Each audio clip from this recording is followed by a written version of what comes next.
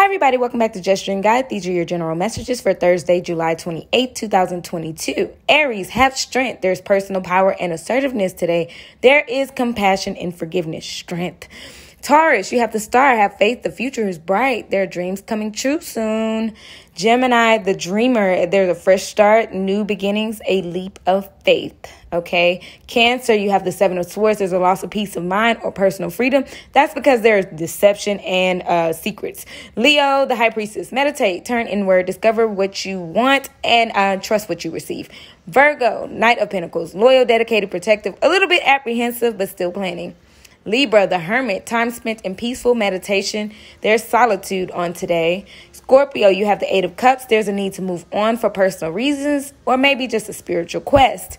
Sagittarius, Seven of Swords as well. A loss of peace of mind and personal freedom. There's deception and secrets. Be careful. Three of Cups. For you, Capricorn, news worth celebrating. Engagements, weddings, pregnancies, or graduation. Uh, be careful, third party.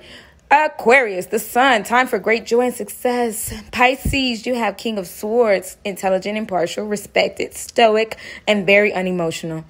Thank you guys for watching. I hope this information helped and blessed you.